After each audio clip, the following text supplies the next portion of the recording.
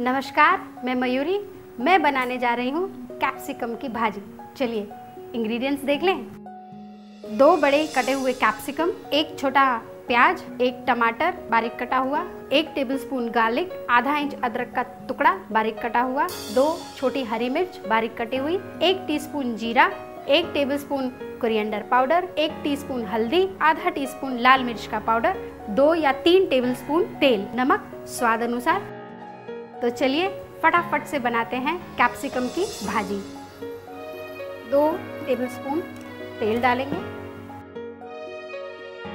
जीरा सौते करेंगे। एक टीस्पून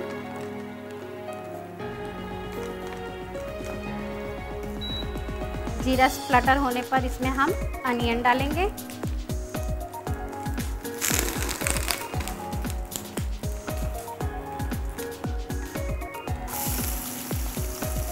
अनियन डालेंगे।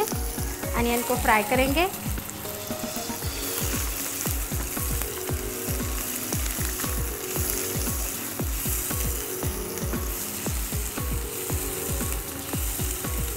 अनियन का पूरा पानी निकल जाने के बाद इसमें हम टमाटर डालेंगे।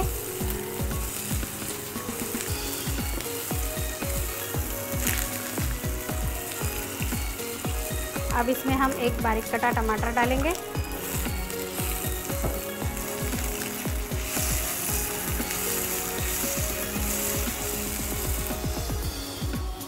एक टेबलस्पून गार्लिक डालेंगे। आधा इंच अदरक का टुकड़ा बारीक कटा हुआ। दो छोटी हरी मिर्च बारीक कटी हुई। एक टीस्पून हल्दी। आधा टीस्पून लाल मिर्च का पाउडर एक टेबलस्पून कोरिएंडर पाउडर अब इसे हम मिक्स करेंगे। अच्छे से मिक्स करिए इसे। अब इसमें हम कैप्सिकम डालेंगे।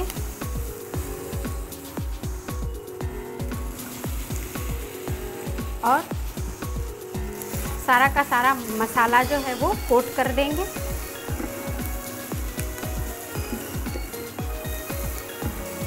कैप्सिकम को अच्छे से मिक्स करेंगे इसमें। अब नमक डालेंगे।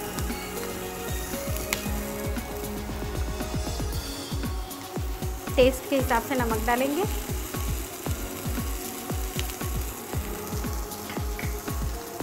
थोड़ा और मिक्स करेंगे और इसे तब तक पकाएँगे जब तक कैप्सिकम जो है सॉफ्ट नहीं हो जाते। आप अगर इसे थोड़ा क्रंची रखना चाहें तो वैसा भी कर सकते हैं। चलिए फ्लेम लो करेंगे। ढक दें। और पकने दें। चलिए, हमने तो कैप्सिकम की भाजी तैयार कर ली। आप पराठे बनाएँ, साथ मिलकर खाते हैं। इसे एक बोल में निकालें।